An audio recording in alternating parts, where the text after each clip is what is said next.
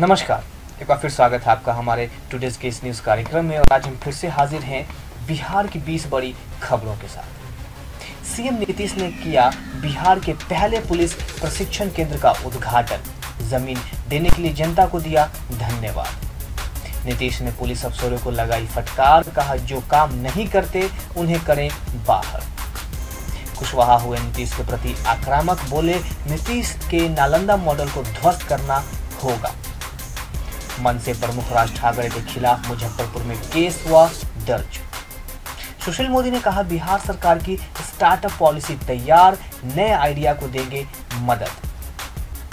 मुजफ्फरपुर बालिका गृह यौन शोषण मामले में ब्रजेश ठाकुर के दो करीबियों की सीबीआई रिमांड तीन दिन बढ़ी।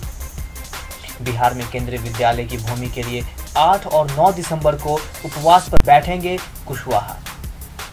बिहार के नियोजित शिक्षकों के समान वेतन पर आ, समान वेतन पर एससी सुना सकता है आज फैसला। उपेंद्र कुशवाहा ने नीतीश को दिया ओपन डिबेट चैलेंज कहा फुल हुआ तो राजनीति से संन्यास। कहा अगर फेल हुआ तो राजनीति से ले लूँगा संन्यास।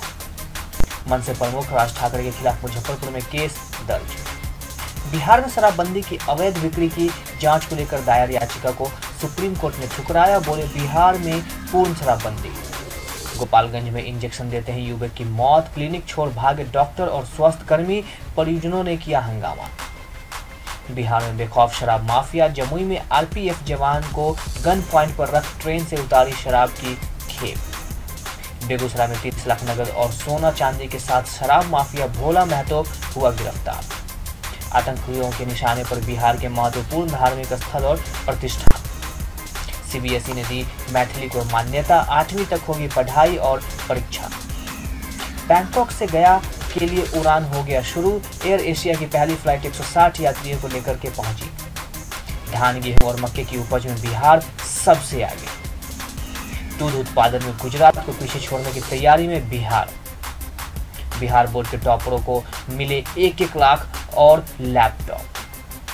ये थी दिन भर की बीस बड़ी खबरें। हम कल फिर हाजिर होंगे बिहार और पटना से जुड़े बड़ी खबरों के साथ। अब तक देखते रहें, बने रहें हमारे चैनल के साथ। और अगर आप हमें यूट्यूब पर देख रहे हैं तो हमें ज़रूर सब्सक्राइब करें। Thank you so much keep watching today's for more news